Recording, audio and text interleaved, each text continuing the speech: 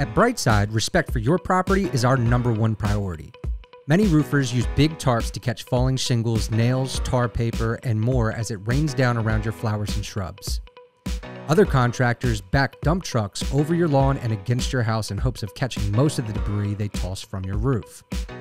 This is simply not for you. The Brightside buggy raises up to catch the old shingles before they even have a chance of snapping branches off your shrubs or knocking buds off of your favorite flowers. It also allows our crews to work more efficiently so we're out of your yard faster. With our Brightside buggy, you can be assured that your property will be protected throughout the entire roof replacement process.